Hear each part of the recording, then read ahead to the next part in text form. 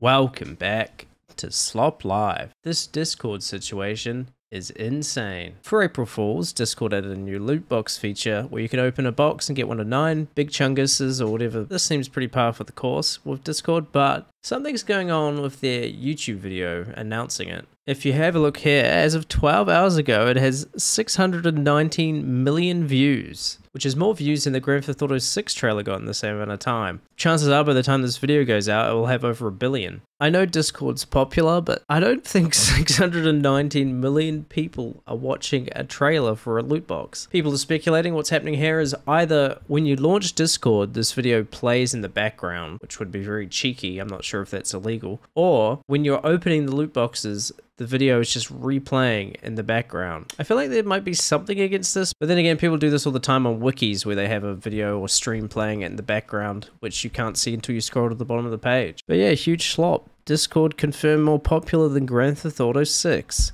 Thanks for slopping by.